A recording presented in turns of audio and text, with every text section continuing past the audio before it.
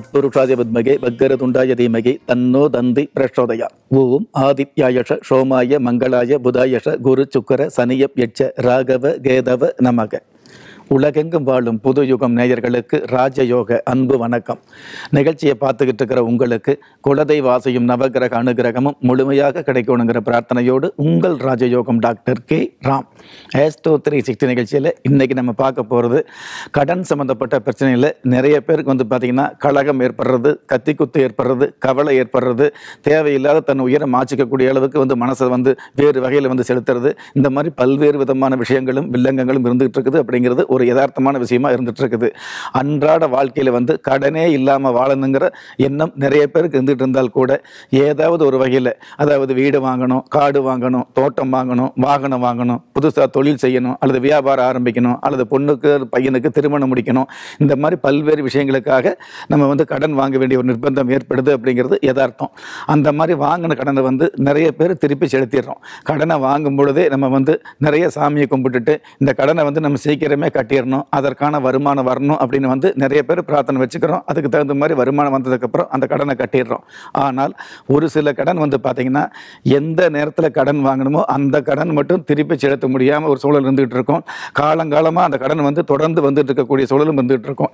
இந்த மாதிரியான கடன் பிரச்சனையில் உள்ளவங்க உங்களுக்கு இருக்கக்கூடிய கடன் தொல்லையிலிருந்து விலகு விலகுவதற்கு அதாவது கடன் பிரச்சனை வந்து அடியோடு விலகிறதுக்கு எந்த மாதிரியான வழிபாடு அல்லது பிரார்த்தனை வச்சுக்கலாங்கிற விஷயத்தை இந்த நிகழ்ச்சியில் பார்க்க இருக்கிறோம். ராசிப்படியோ இலக்கணப்படியோ நட்சத்திரப்படியோ தேதிப்படியோ நம்ம வந்து இந்த தேதியில் கடன் வாங்கினாலோ இந்த நட்சத்திரத்தில் கடன் வாங்கினாலோ அல்லது இந்த இந்த லக்கணத்தில் கடன் வாங்கினா நல்லது அல்லது திருப்பி செலுத்த முடியுங்கிற விஷயத்தை நம்ம எடுக்கிறதுக்கு முன்னாடி பொதுவாகவே அதாவது இருபத்தி ஏழு நட்சத்திரங்களை உள்ளடக்கிய பனிரெண்டு ராசிக்காரர்களும் வந்து கடன் வாங்கக்கூடிய தேதி அப்படிங்கிறது வந்து பொதுவான ஒரு தேதி எடுத்துட்டோம் அப்படின்னா அதாவது வாழ்க்கையில் வரமுறை இல்லாமல் கடன் சம்பந்தப்பட்ட விஷயங்களை சிக்காமல் இருக்கிறதுக்கு கடன் சம்பந்தப்பட்ட வகையில் வந்து களங்கம் ஏற்படாமல் இருக்கிறதுக்கு கடன் சம்பந்தப்பட்ட வகையில் வந்து கழகம் ஏற்படாமல் இருக்கிறதுக்கு கடன் சம்பந்தப்பட்ட வகையில் வாக்குவாதம் ஏறாமல் இருக்கிறதுக்கு கடன் சம்பந்தப்பட்ட வகையில் கடன் தொகை சிறு தொகையாக இருந்தால் கூட சின்ன தொகையாக இருந்தால் கூட அதற்காக கச்சேரி என்று சொல்லக்கூடிய நீதிமன்றம் போகாத அளவுக்கு இருக்கக்கூடிய அமைப்பு வந்து எந்த மாதிரி எடுத்துக்கலாம் அப்படின்னா எல்லோருமே பொதுவாக உங்களுடைய பிறந்த தேதி என்று கடன் வாங்காமல் இருக்கிறது நல்லதாக இருந்துட்டு இருக்கும்.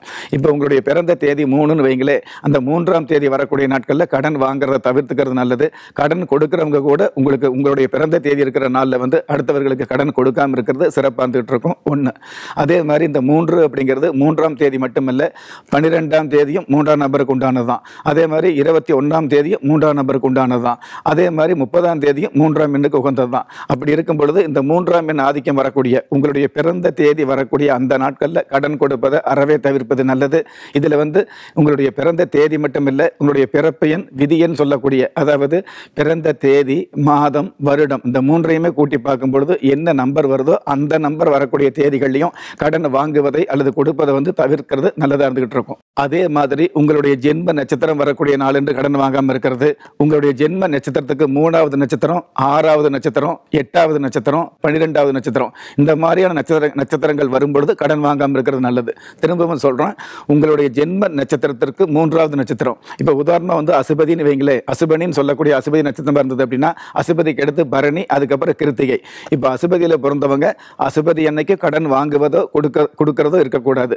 அதே மாதிரி பரணி அன்னைக்கு இருக்கலாம் அசுபதிக்கு அடுத்து பரணி இருக்கலாம். ஆனால் பரணிக்கு அடுத்து கிருத்திகை வந்து மூன்றாவது நட்சத்திரமாக வருது இல்லையா?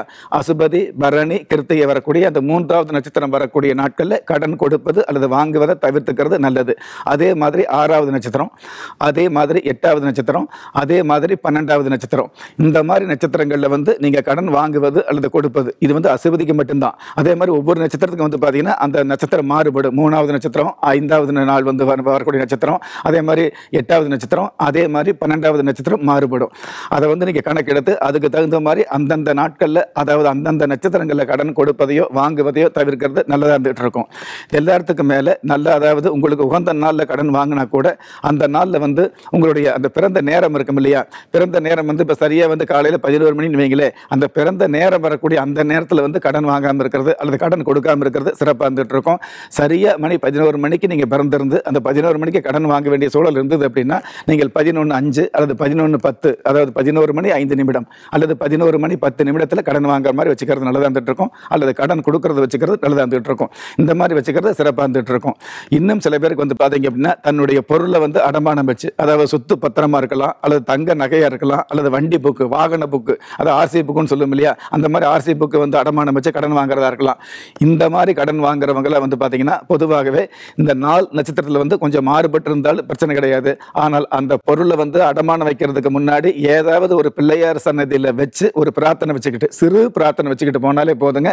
அந்த பொக்கு அதாவது நீங்கள் வைக்கக்கூடிய அந்த பொருள் அடமானம் வைக்கக்கூடிய அந்த பொருள் வந்து திரும்ப உங்க கைக்கு கிடைக்கக்கூடிய வெகுமானமான சூழலை ஏற்படுத்தி கொடுக்கக்கூடிய அமைப்பு இந்த பிள்ளையாருக்கு இருக்கக்கூடிய மிகப்பெரிய சிறப்பாக இருந்துகிட்டு இருக்கும். அதே மாதிரி எந்த ஒரு பொருளுக்காகவோ எந்த ஒரு புத்தகத்திற்காகவோ நீங்க அடமானம் வச்சு நீங்க கடன் வாங்கியிருந்தீங்க அப்படின்னா அந்த கடனுக்கு வந்து முதல் தவணை இருக்கும் இல்லையா? இப்போ ஒரு வருஷம் கடன் வைக்கிறோம் அல்லது பத்து வருஷம் கடன் வைக்கிறோம்.